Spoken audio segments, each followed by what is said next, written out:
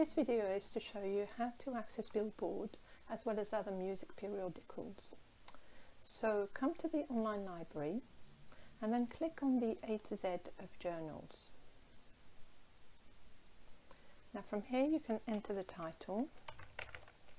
You can see I have already done a search for this. And then you will get uh, the results for Billboard. Now as you can see there are quite a few services listed so do double check the actual coverage. Looking at this, the one from 1988 to the present in the Music and Performing Arts collection is um, the one with the broadest coverage. So let's have a look.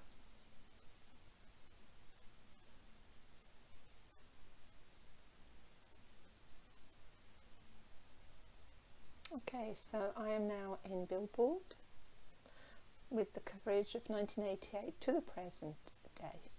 You can have more information about the publication and then you have options. You can either search within this publication for specific um, information or you can browse by year, month and issue.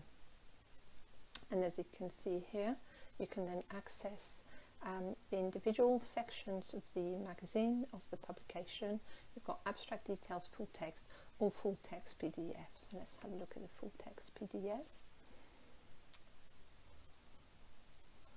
And here you will see that now you have the information as it would be presented in, in an actual print magazine.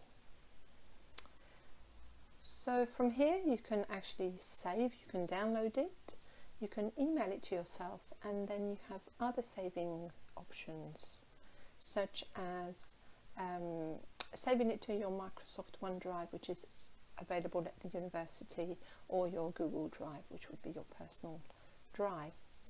Now one thing that you might want to note is how to cite this publication if you will be using in an assignment or presentation.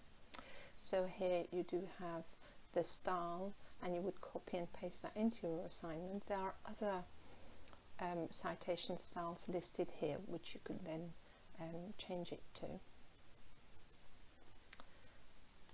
And then one thing that if I go back to the top of the issue that I would like to show you as part of this service is the alert, creating alerts. Now it is really important to keep on top of what's going on in um, your um, in the world of music.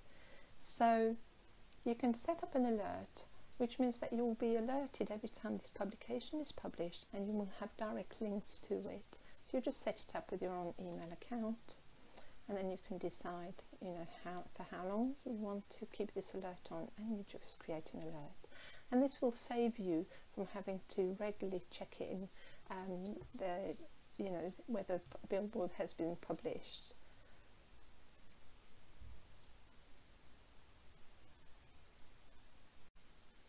If you would like to see what other music periodicals are available at the university, then from the online library, click once more on the A to Z of journals. And this time, rather than searching for a title, scroll down to browsing by subject, and you can then using the drop down come to the music section or any other sections that you may be interested in and then see what is available for your area of interest. So let's see what's available under Jazz Rock. And there are 16 journals found under that title. Most of them are available from the Music and Performing Arts collection or the periodicals database. But let's see one that says to the present, it means that you would get the current issue. Okay, so again, if I click on the Journal of Hip Hop, then um, that would be available from the ProQuest website.